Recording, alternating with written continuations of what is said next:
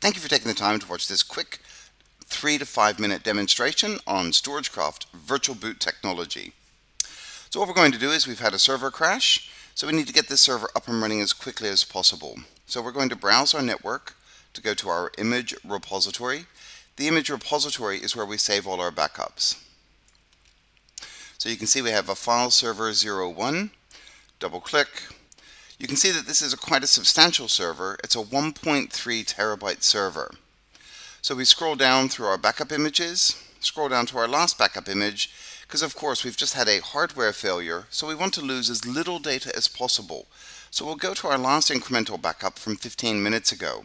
Now of course if we've had a virus or a corruption of our database, we could go back 15 minutes, we could go back 30 minutes, we could go back 45 minutes, etc.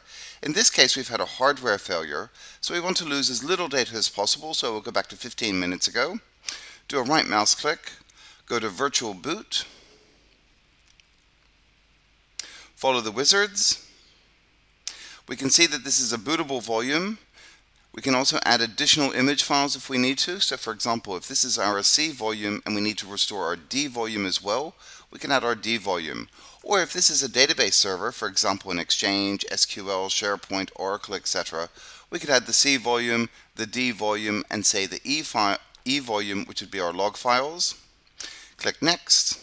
Select the operating system that we want, that the server is. So we know it's a server 2003. We give it a name, so we'll call this our DR server.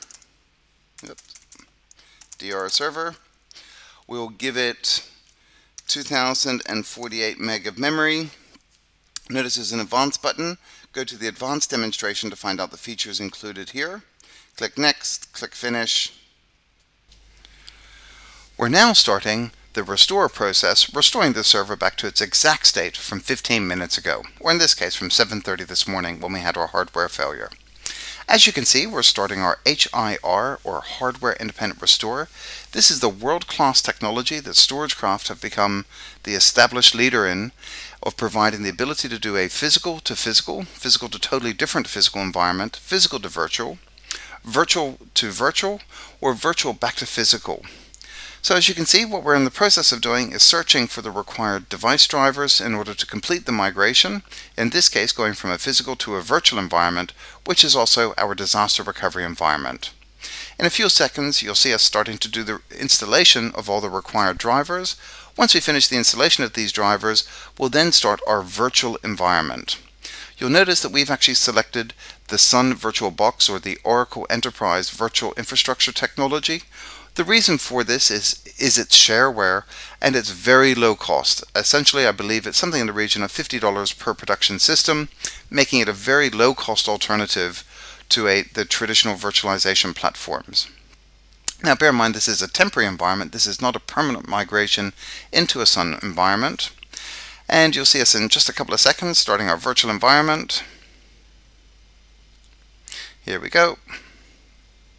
So we're creating our virtual environment and we're now getting ready to log into the server. So the total time for this process typically is three to five minutes to get a server fully restored back to the exact state that it was from 15 minutes ago, delivering a very rapid, very fast disaster recovery.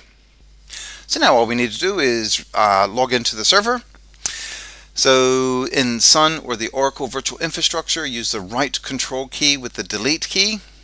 That'll get us into the login prompt. And type in our password. And the reason for the failure is we'll say it's a hardware failure or it's a system unresponsive. And type in a comments field, hit OK, and the system is restored back to the exact state that it was at 7.30 this morning, 15 minutes ago, delivering a very powerful, very fast, very easy to use disaster recovery solution. Now, a couple of things to bear in mind is we'll restore it back using all the drivers. It will now go through its fine-tuning of additional drivers. You may need to still go through do some further fine-tuning of some of the key drivers, etc. But what this has done, it's really fast-tracked the process of getting us back after a disaster has struck. Now we'll also need to go in and assign the IP address to the network cards. See the section, see the um, IP address video, which will go through that in more detail. And of course we'll have to reboot the server and we'll be back into full production. Anyway, thank you very much for taking the time, and hopefully you'll enjoy the next video in this series.